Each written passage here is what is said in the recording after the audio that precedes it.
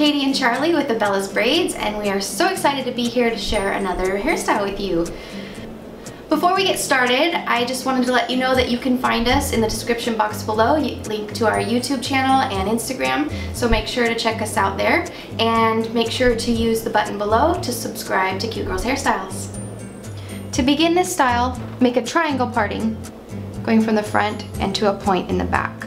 And now just put the rest in a ponytail and then you can take this down and get started on the braid.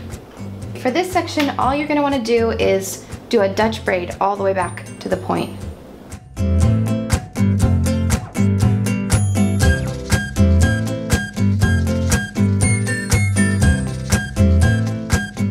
When you get to this point, go ahead and braid down just a little ways and add a small elastic.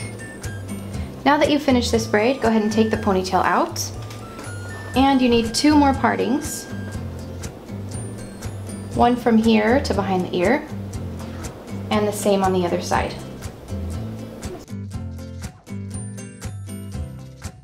Take these sections, smooth them, and make a ponytail, but add in this bottom braid before you make the ponytail. Now take out the elastic from the braid and uh, just unbraid up to the ponytail. Pin this section up out of the way for the next step. Now take from the point of this last part all the way across to the other one. Make a ponytail with that section. Take this section down. Take this top ponytail, split it in half, put it around the, the next ponytail and pin this out of the way.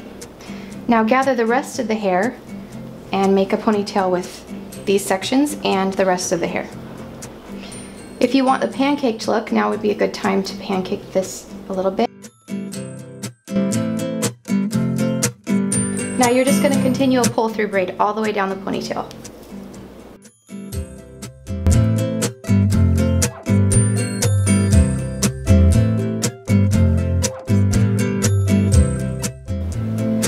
I wanted to show you a quick trick on how to make the most of your length. When you run out of enough hair to actually do a pull through section, just turn it into a bubble braid. So just put all of the hair in one elastic and puff it out. And then just keep doing that until you reach the very ends.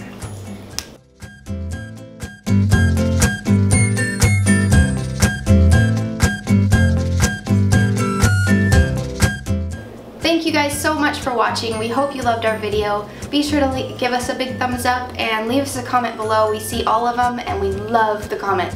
To subscribe to Cute Girls Hairstyles, use this button. If you want to see more of our videos, use this button. And if you want to see more Cute Girls Hairstyles videos, right here. Thanks so much. See you next time. Bye.